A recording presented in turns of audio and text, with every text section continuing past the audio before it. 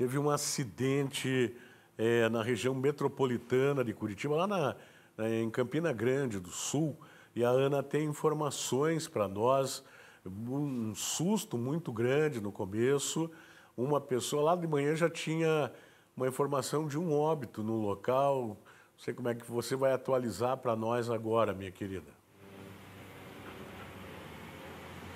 Olá mais uma vez, Tony, a você que nos acompanha, é isso mesmo, era por volta de 4h45 ali da madrugada, quando a Polícia Rodoviária Federal foi né, acionada por um acidente que aconteceu na BR-116, ali na altura do quilômetro 30, região de Campina Grande do Sul, na região metropolitana aqui de Curitiba. Esse acidente esse acidente envolvendo um ônibus, né, com diversos passageiros, mais de 50 passageiros, e isso ocorrendo ali logo de madrugada no início do dia. Com isso também a pista ficou totalmente interditada. De acordo com as informações, esse ônibus vinha de Campinas, São Paulo e tinha como destino final Curitiba. Acontece que um pouco antes de chegar no seu destino, acabou tombando na ribanceira. E com isso, como eu disse, tinham mais de 50 pessoas né, que estavam nesse ônibus. Uma, infelizmente, acabou morrendo no local e outras vítimas aí com ferimentos moderados e leves. Essas vítimas, inclusive, foram encaminhadas encaminhadas para dois hospitais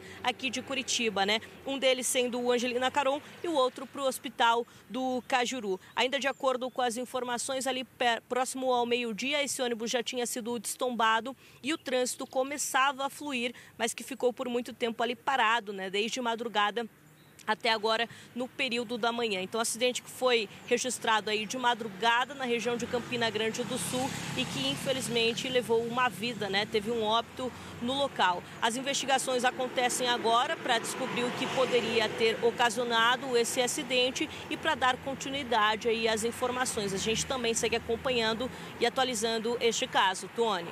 Tá certo então, minha querida. Muito obrigado. A gente lamenta pelo óbito mas a tragédia poderia ter sido até maior do que já foi, né, Ana? Pelo menos.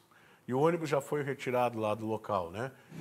O trânsito segue fluindo normalmente, mais uma vez. Tá bom, querida? Muito obrigado.